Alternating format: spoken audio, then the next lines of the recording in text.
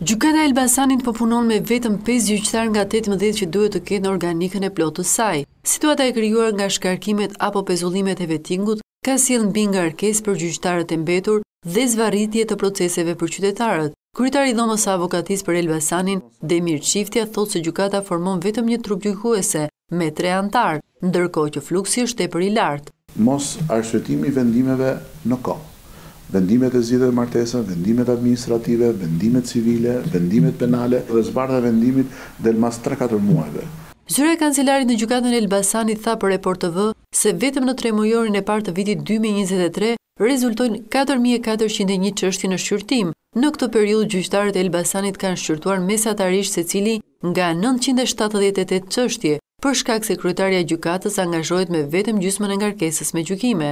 Sipas gjykatës nga një janari deri më pesë qershor dy mijë e njëzet e tre, në sekretari janë regjistruar tre mijë e pesëqind e tridhjetë e tre çështje të reja. Zvarritja e proceseve dhe vonesat në dhënien e vendimeve sipas avokatëve shpesh shkaktojnë irritim tek qytetarët. Ka vonesa në gjykime, po ka vonesa në edhe në zbardhjen e vendimeve. Dhe kjo ka sjellë edhe një komunikim të të ngarkuar me me me klientët.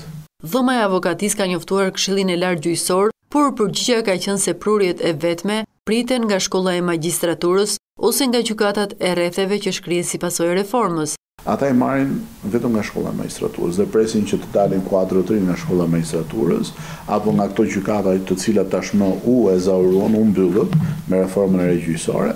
Një tjetër pengesë për emërimin e gjyqtarëve të rinj është edhe kohëzgjatja e vendimeve në Kolegjin e Apelimit, pasi gjyqtarët e shkarkuar në shkallë të parë nga KPK pezullohen nga detyra por mbeten në organikë me shtatëdhjetë për qind të pagës, ndërkohë që nuk janë efektivë në punë pasi nuk kanë të drejtë të marrin vendime.